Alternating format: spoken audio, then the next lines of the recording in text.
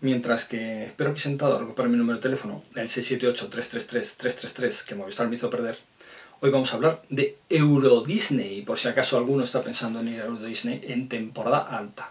Si alguien va a ir a Euro Disney fuera de temporada, en temporada baja, que no es en verano ni en navidades, puede ya ahorrarse la visión de este vídeo. Yo solamente este consejo son para aquellas personas que vayan a querer ir a Euro Disney en temporada alta, cuando los niños ya no tienen colegio y cuando mm, es el boom turístico de, en todo el mundo. Bien, la versión corta. No vayáis. No se os ocurra ir a Euro Disney.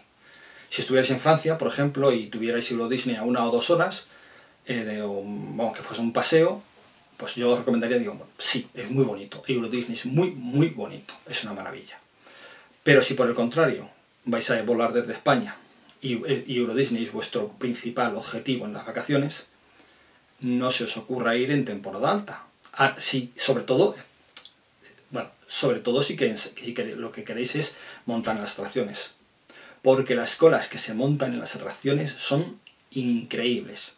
O sea, puedes estar dos horas esperando a, subir en algunas estaciones perfectamente.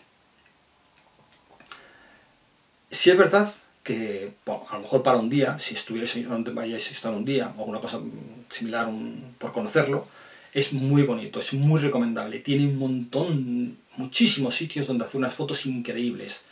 Es un sitio muy fotogénico, es un sitio maravilloso, lo reconozco.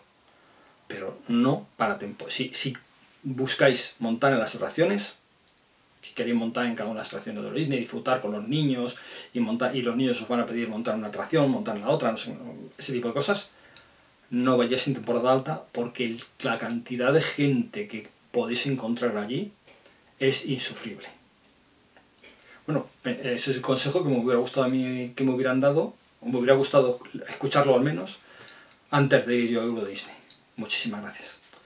Si os ha gustado el vídeo, por favor, eh, darle al like o, o comentar vuestras opiniones. Gracias.